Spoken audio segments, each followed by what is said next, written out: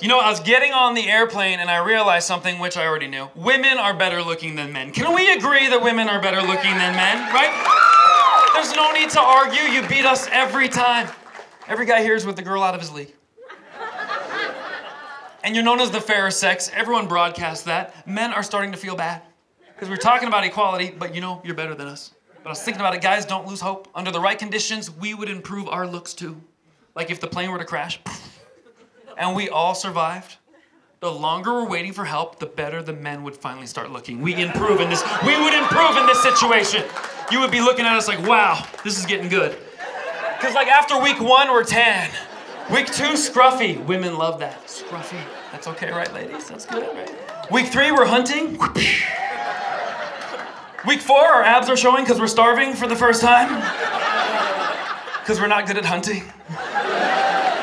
But damn it, we're improving. Something interesting happens. The longer we're waiting for help, the worse these beautiful women will finally start looking. Week one, your eyebrows start growing in just in the middle. Start slow, just just, just a little unibrow action.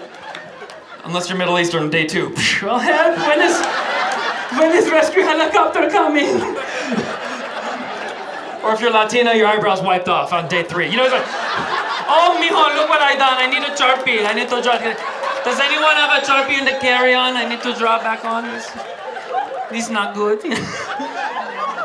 I don't know why the black women are laughing. Your weave blew off upon impact.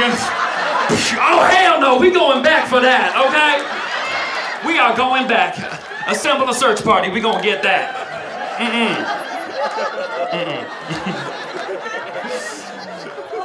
That's week one. Week two is no better. You're starting to smell like the men. We're used to it. You're not. Yeah. Week three, hair sprouting out of.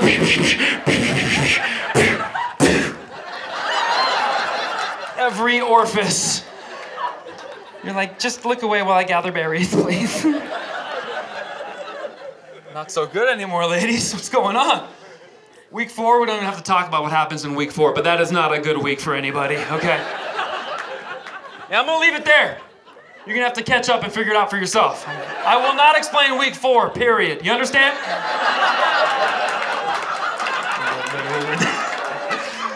That's how I gauge the intelligence of the crowd. After one show, a dude came up, You never told us what happens after week four, bro. Sitting there waiting all night. And I'm like, Dude, ask your mom, all right? That's not my job. Get a girlfriend, keep a journal. You tell me what happens at week four. He sent me an email. I mean, it would get so bad, even the rescue helicopter would be confused. Captain, I see some lone survivors and what appear to be some wild animals standing dangerously close. I don't know what those are. Get those tranquilizer darts ready. But we'd respect you ladies. Like, no, just throw down some chocolate. it's my wife.